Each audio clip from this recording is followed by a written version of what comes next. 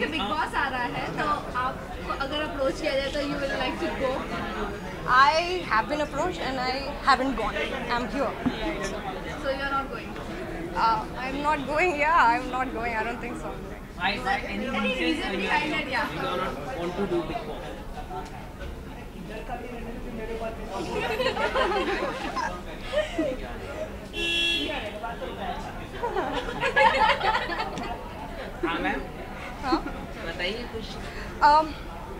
I think my language in real life is not very filtered and my friend circle and every most of the people know about it and not the मैं training लेके भी वो इतनी over night तो filter नहीं कर सकती you know and as an actor I don't want that side coming out also I feel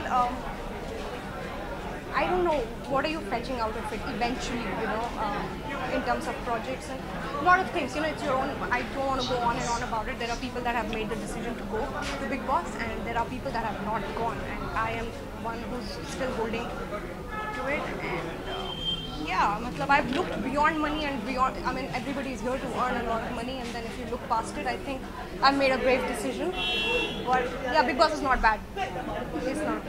It's great. Ma'am एक आखिरी सवाल है इन दिनों लगातार अ, पर्यावरण की बात की जा रही है आर में 2700 पेड़ काटे जाने वाले हैं आपकी क्या प्रतिक्रिया है इसको लेके जब do you think it is a necessary development होना ज़रूरी है या फॉरेस्ट को बचाना ज़रूरी है we have seen at the short period heavy rainfall take place in Mumbai.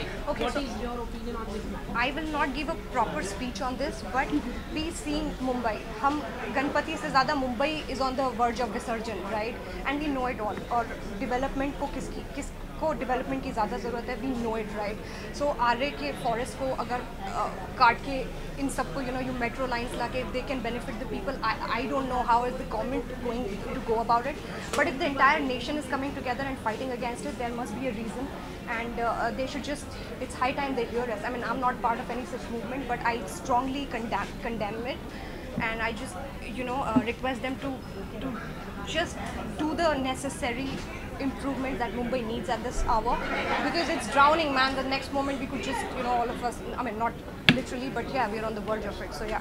Next uh, ganpati let's not have mumbai having the visurgence is that uh, ganpati